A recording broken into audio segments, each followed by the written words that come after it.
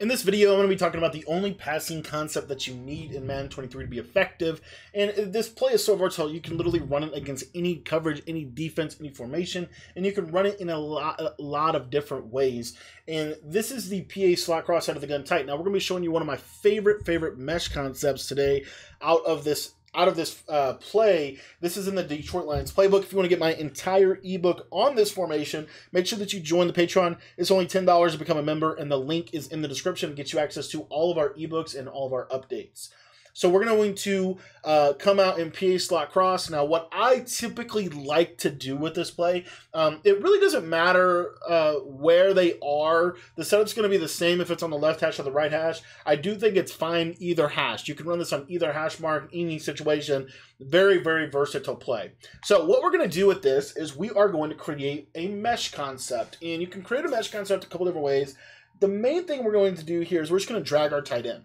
Now, this is going to create the mesh, the mesh uh, piece of the puzzle. Now, the rest of the puzzle is, you know, up to you. So how you want to run this. So what I like to do, especially if you have Hot Route Master, is put your left receiver on a corner and put your right receiver on a post. So you see here, this is what the play art looks like. Now, this is an incredible play against man coverage. Really good against man. I'm going to show you how it works against zone too, and it actually is pretty decent against zone.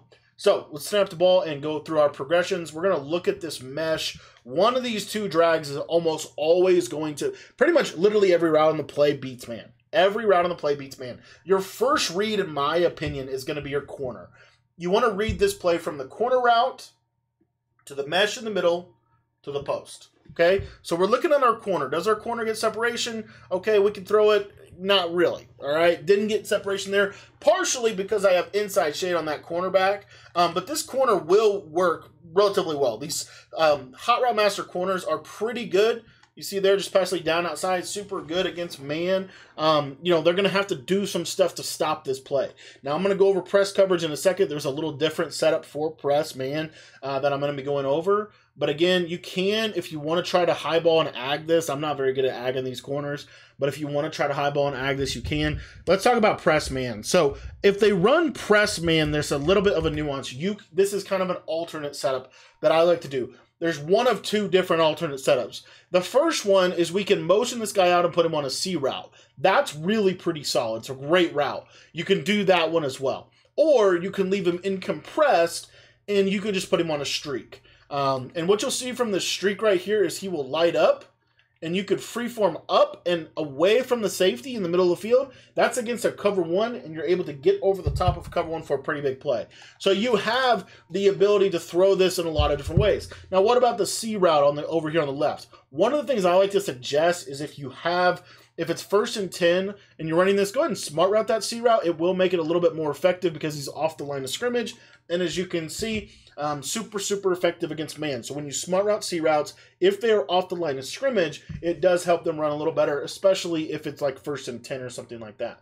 So now they have to have safety help over top. In some way, shape, or form, they have to have safety help over on this player, especially if they press you. Even if they don't press you, you can motion out and run the C route, and this is fine as well. This is a great concept if you do it like this. Um, you'll see right here, here's see how he gets pressed if I don't smart route it. That's uh, super, super important. He's going to get pressed if you don't smart route the C route, but if you smart route the C route, which I'll show you real quick, same situation. The only difference is I'm going to smart route the C route, and you'll watch here. He's not going to get pressed. He's going to light up, and he's going to get that super win animation that is so good uh, this year out of the C route on the left side of the field. So very, very effective little concept. Now let's talk. Uh, so that's man to man, and really, um, like I said, you want to progress your reads from your corner to your mesh. So I'm going corner, no drags, either one, no. Okay, I got my post.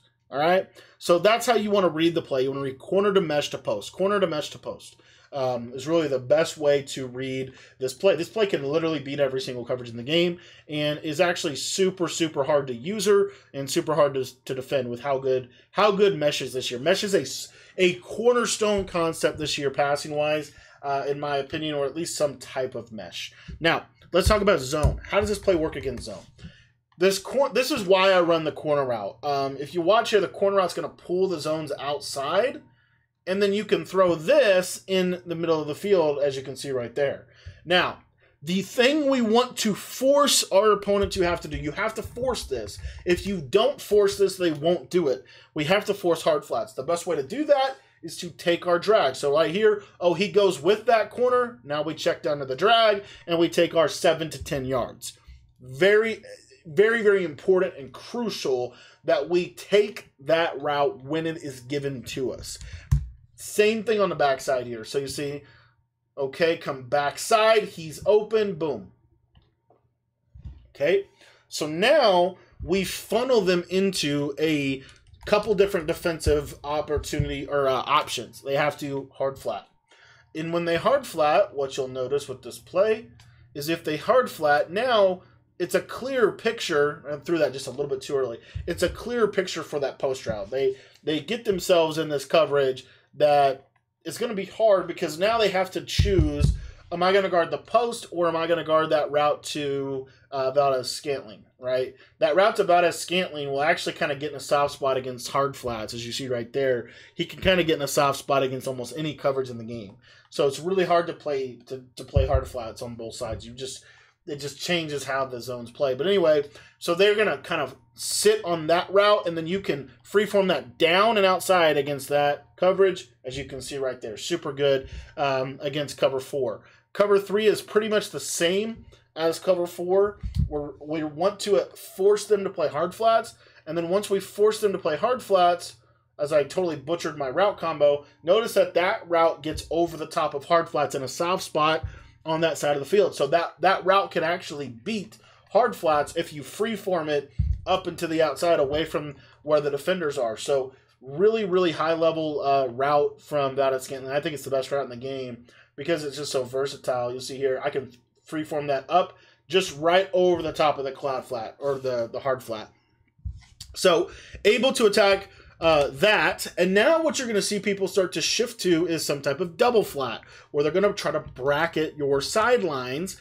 And the problem that this creates is now your user is in no man's land in the middle of the field against a mesh concept where you have three players running over the middle of the field. So what you should see here is you can hit these little drags before they get to the flat and it makes them super, super good. Now, we're going to show you a concept tomorrow that's really, really, really good for this scenario where they start to play, you know, super protective of the flats. They're not even, this is also one of the hardest plays in the game to blitz because you're attacking the flats relatively quickly, and then these crossers, they just get across the field really, really well. Um, you know, you see right there. So if you don't hit your crossers, then yes, it double flat can give this a little bit of trouble. Like I said, we're going to show you tomorrow uh, the best way to combat any kind of double flat defense with another setup out of PA slot cross. PA slot cross, like I said before, is the most versatile play in the game, in my opinion. It is so versatile. If you can master this play, it's so hard to stop. Thanks for watching the video. If you want to get my entire gun tight offensive ebook, make sure that you join the Patreon. The link to sign up for that is going to be down in the description of the video.